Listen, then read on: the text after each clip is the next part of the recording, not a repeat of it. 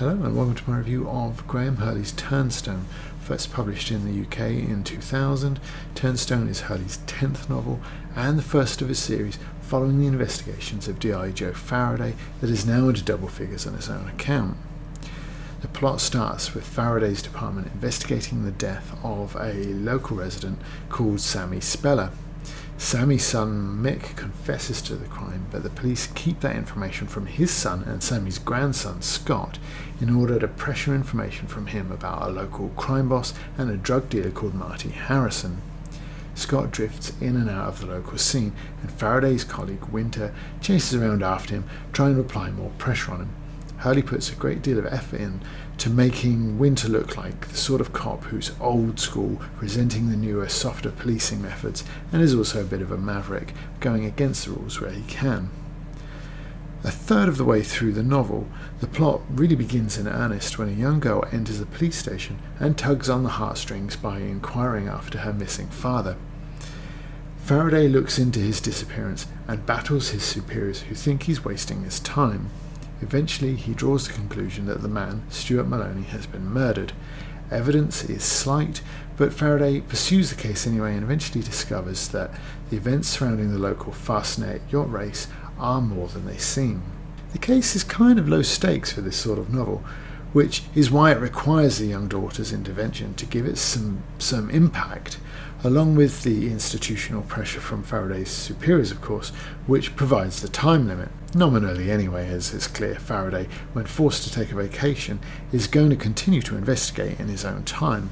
The case, then, is something of a second fiddle to exploring Turnstone's main character, Faraday. Despite that, we don't really get that much from him either. We know he's dedicated to his job, more so than he's dedicated to the people around him, because Kathy Lamb, one of his colleagues, tells us so early on. Kathy considers herself by far the closest to Faraday, but that rarely extends to anything social. It isn't clear from that, though, if Kathy is closest to Faraday because of her lack of sociability or his. Besides, her opinion is rendered questionable on the very same page when she notices that Faraday's kitchen is a single man's kitchen, organised, indexed, neat. Now, the only time that my kitchen has ever been any combination of organised, index, or neat was when I wasn't single. As the novel evolves, we see that Faraday's life involves working and watching birds and not much else.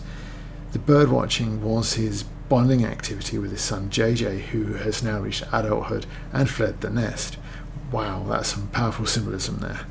Now his birdwatching is a solitary pursuit and a distraction for Faraday because, if anything, he's now the caged bird. He resents his job, particularly that his promotion to departmental head has removed him from the gritty end of police work in favour of administration and organisation. Faraday sabotages his own promotion prospects because that promotion would take him even further away from his identity. It's clear that he feels he belongs on the streets, working cases personally. But ultimately, Faraday's birdwatching starts to feel like filler when it distracts from a case that isn't strong enough to hold the interest without the prop of the child's pathos. The departmental pressure to get it done, quick or not, exposes the low stakes even while providing Hurley's time urgency.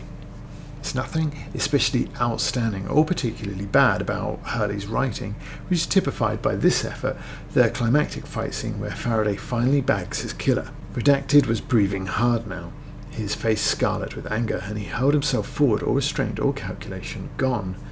Faraday waited until the bulk of the man was only inches away before trying to sidestep him again, but Redacted's sheer bulk forced him to the ground. For what seemed like eternity, they rolled around on the gravel, first redacted on top, then Faraday. Twice, Faraday thought he had pinned him in an armlock, but both times redacted broke free. He was breathing harder and harder, his face scarlet, his hands desperate to choke the life out of his tormentor, but by the time Faraday heard the wail of sirens, his strength was beginning to flag. Now Hurley is grinding his punctuation here, working hard to try and create pace with short, stabby sentences, but there's a degree of inconsistency, as you can see even in the first two sentences. One is broken into five or six fragments, while the other is fairly lengthy. You also have this unfortunate repetition of, of the bulk of the man. It's like you could quite easily have said size. Then again, they, you know, these are two grown men, uh, one of whom noticeable for his size, who are, are slugging it out, but you never really get a sense of sort of scale or power. There's no blood, and when there's no blood and no guts, there's no glory. By all means, read this scene and then watch the end of the first Lethal Weapon or something similar to it. In fact, we don't even need to because I have Joel Norst's novelisation of Lethal Weapon. So let's have a look at what it says in there. At first, Murtaugh thought Riggs's kick had missed its mark, but then he saw that half of Joshua's ear was folded over, torn away from his head. Bright red blood trickled down his neck and across his back. Joshua flew back at him with a flurry of fists. Riggs parried the first blow, but the second caught him in the cheekbone. The mashed spot on his face remained slightly depressed, and Murtaugh realized that the bone had been broken. Joshua loosed such a furious sidekick his foot ploughed through Riggs's deflective blow and found ribs. Riggs cried out, but as he reeled away, his knuckles sank into the side of Joshua's mouth.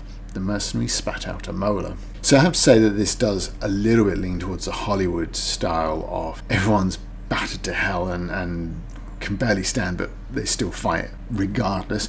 So it isn't like completely convincing, nor is it technically particularly good. But you can just see the stakes of it. You know, it's like it's a much more violent, much more blood and guts depiction of two people fighting it out. It's just more impactful. And Turnstone really could use a little bit of that. Because while Hurley's is probably the more real depiction of a fight, Shane Black's is more gritty and more entertaining. The novel has its strengths. Paul Winter is one. Faraday's colleague is a dirty cop. He creeps towards cliche in the, in the post Life on Mars world, but this novel predates that series. Um, while some of his snide behaviour is petty and irritating, not just to um, Faraday but to the reader as well, the way he gets comeuppance is quite effective. What makes it disappointing is that Hurley can't combine his A and B plots more successfully and get Faraday and Winter face to face more often and in each other's face more often. Perhaps in the sequels that antagonism is better directed, but the way Winter is used here suggests that his days are numbered shorter than that. Part of the appeal of this book to me was that it's set in my hometown of Portsmouth, an appeal that most readers in the world obviously are not going to share, and especially if they're from the city that's down the M27 that good decorum prevents me from naming. I don't recall any other mainstream media that's set in Portsmouth, and Hurley amps up the crime and social problems in a depiction of the city that's far from flattering.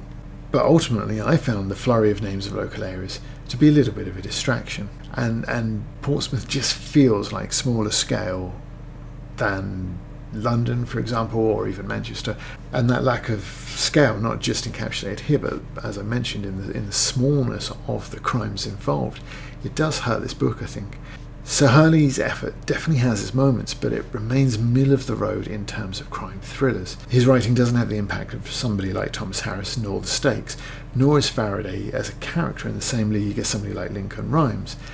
And as vicious as Speller's death is, is incidental to the main plot, the disappearance of Stuart Maloney, which is not presented to the reader at all. And that will probably disappoint those who enjoy their crime thrillers on the grisly side of Patricia Cornwell. Ultimately, it is the plethora of other writers in this genre, the abundance of competition, that makes Hurley's middling effort seem somewhat less than that. Faraday isn't particularly exciting as a character. Crime, like the city it takes place in, isn't glamorous enough, nor seedy enough, nor big enough to outdo the competition. The villain revealed is a thug, the stakes are small, and if this is the heyday of the crime thriller, then in the fullness of time, some of the swimmers in an increasingly crowded pond are going to be just forgotten. That the series is now more than 10 books long suggests there's something more to Faraday than what is contained in this offering, which is really only worth your time if you're done with its considerable competition. Because if your preference is for the more investigative, the more glamorous, illustrious, or gritty crime thriller, then there will be plenty of alternatives more worthy of your time. So thank you for watching. If you enjoyed this review, I have plenty more on my channel, so feel free to watch some of those. And if you subscribe and ring the bell, then YouTube will tell you when I upload the next one.